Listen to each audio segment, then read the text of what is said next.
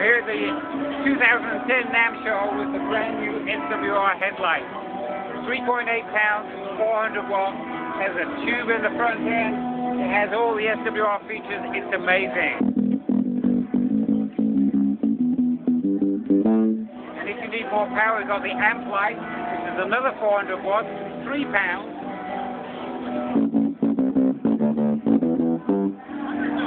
And we just keep going. Power, we all need more power.